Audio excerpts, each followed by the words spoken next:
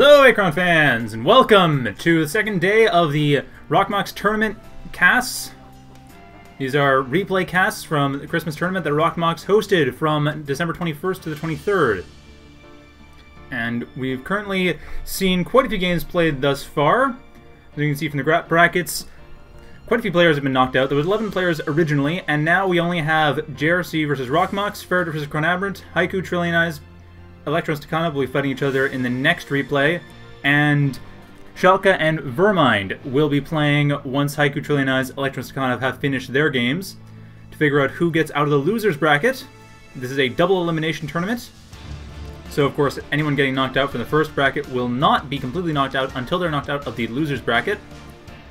But being that this is a match between Electro and Stakhanov, which we see are in the loser's bracket, this will be a pretty exciting match. Whoever loses will be out of the tournament completely. Anyway, I'm Shadow333, your host, and let's get started. So we have Electro on the east side of the map, not choosing his race yet, and no, choosing CESO. And Stakhanov on the left side of the map, probably choosing Vecgir. And he is. So Vecgir versus CESO. This should be very interesting because I think we saw one of these before, but we don't see them a lot, especially in non-tournament matches. Grekim is very frequently played. It's probably the most popular race.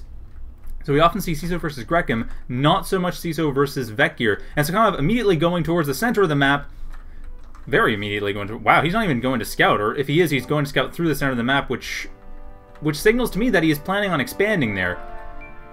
Very Only a few RPs in his main base, while Electro is building up. Three RPs and importer, he'll be getting a factory soon for ATHCs. Last time he went for a 4 ATHC attack and proxy here, so he looks like he's doing exactly that. While scouting out with his Special Ops and Marine, we'll be finding that Stakhanov's base is completely empty. And Stakhanov, of course, is going towards the center of the map. We'll see him expanding there, I'm sure. He has a Shinvir and Tethvir going towards the actual resources, as Zynvir is now also going towards those resources. So he is definitely focused on the center of the map, very quickly trying to take it. I don't know if this will pay off. Electro might catch on pretty quickly that Stakhanov is going towards the center of the map and not his main base when he sees his main base completely devoid of any military units. But I'm not sure if Electro is expecting Stakhanov to go towards the north here. This is a pretty risky move given that his main base is completely undefended, and currently that's Stakhanov's only source of resources. But it looks like he is definitely committed to this. So Stakhanov is also getting auto defense, so we can easily get up bastions or just even use foundations as defense. But that likely won't be relevant. It doesn't deal a huge amount of damage. For an Annex, fending off a Special Ops and Marine, it might be enough, but still, Electro is probably going to get suspicious. And it's kind of coming in from the north to scout out Electro's base after setting up well, it has a Shinvir, using his Tethvir to scout, a Shinvir is still up in the base, his Zynvir is building up a, uh, resource processor, and the Annex is trying to fend off the Special Ops Marine, but it's taking way too long to do so. So with auto defense, that is not nearly enough. Stakhanov is losing the Annex, but I'm sure he's going to go back and change that. Electro jumping back about a minute down from there, getting a second importer near his factory. He has his first ATHC coming up, the 225 mark. And as I mentioned before, his infantry is doing just fine.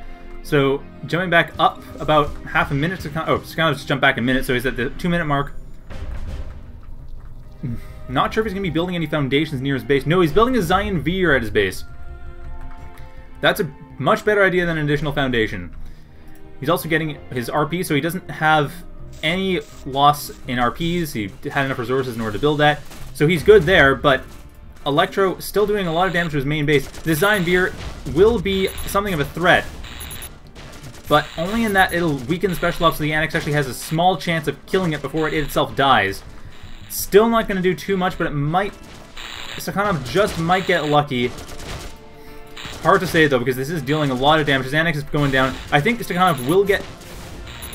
Or, looks like actually something changed up here. Let's see. No, Stakhanov is the one who has the... Well, he's further in the future, so... He... No. Electro definitely is going to lose his special ops. The Annex Orb at half health before this happens, so... The Annex will probably just barely live, but at this point, two HHCs are up. Electro's building a third. He really should be sending them out now. Should be scouting out because obviously the main base is not well defended. So the initial units must be elsewhere. If that's the case. Now we jump back to the 232 mark when the Zynvir came in originally. And nothing really is changing there. So kind of he appears to be... Okay, sending back one of his Shinvirs, so he can better defend his main base while still scouting with the Tethvir. He doesn't have...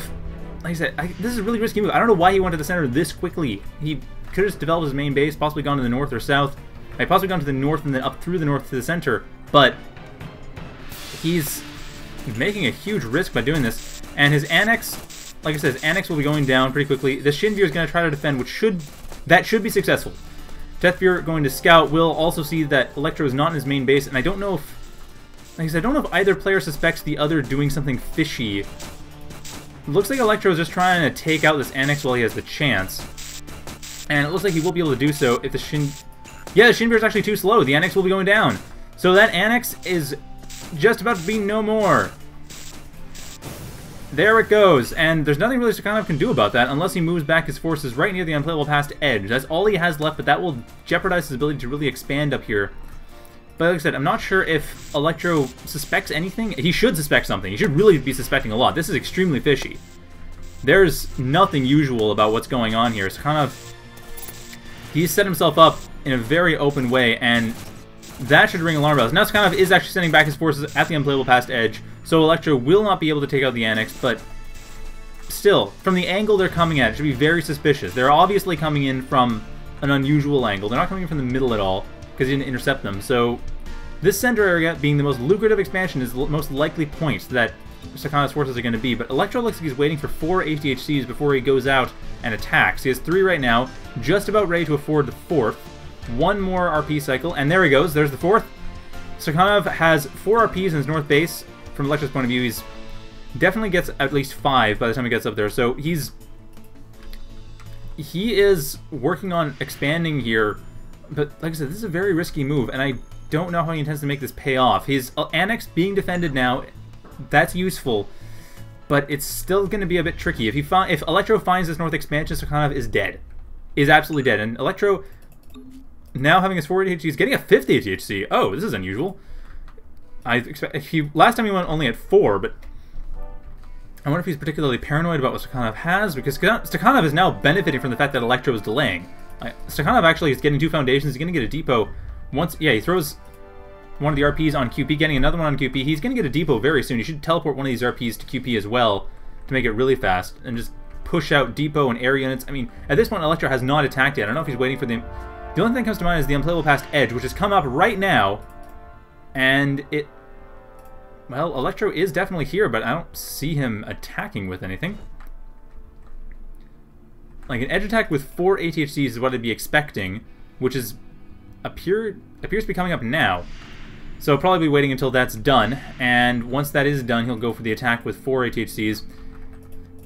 But it's kind of up at the five minute or six minute mark. He's going to be well, he's going to be in a pretty good position. He can afford a depot now. He can get an eight an aerial control center fairly soon after. Not sure why he hasn't purchased the depot in question, but he can afford it. There he goes. Okay, getting his depot. Aerial control center is going to be right here. And he has auto defense, so he can build a bastion if he needs to. As long as if Electro's edge attack goes, which he's going for now, that the entire game hinges on this edge attack that Electro is pulling off. That's going to be the entire game. If Electro pulls it off, Stakhanov's going to lose. Otherwise, Stakhanov has a great economic advantage. Electro has not built up at all, and Stakhanov has completely hidden his expansion attempts and apparently gotten away with it. Though there's still a couple minutes before it falls in the unplayable past, and Electro can't really do anything about it. So right now, Electro still has a chance to harass it. A chance he doesn't seem to be going for in earnest. I don't think he knows it's there. I, I really don't think he's suspicious of the center expansion. So I think he just suspects that Stakhanov doesn't know what he's doing. and it's not... Like, I realize the metagame for Achron is not the most solid, so you can't always tell, oh, something is lacking in his base, therefore stuff happens, but... Oh, Electro actually apparently in the chat saying he was in fact suspicious. However, he's not acting on that suspicion from what I can tell. He is simply attacking the main base and dealing a fair amount of damage as well. These foundations will be going down no time, which will eliminate Stakhanov's ability to spend his money, but he still has a lot of money. And really, all he needs to do is get a Shinvir around, drop a foundation. What the? Uh, Stakhanov surrendered. Okay, I guess Stakhanov, realizing he couldn't hold that off, just decided to not bother. That's bizarre. Okay, that that's a thing, apparently. So well done to Electro for managing to get through that. And it looks like we have... That is a game. So Electro has beaten Stakhanov. Stakhanov is out of the tournament. Electro moving on to second round of the losers bracket against Schalke. And the next game will be between Rockmox and JRC, because that's the one that was played next. So I'll be getting to that shortly. Don't go away, I will be back in a minute.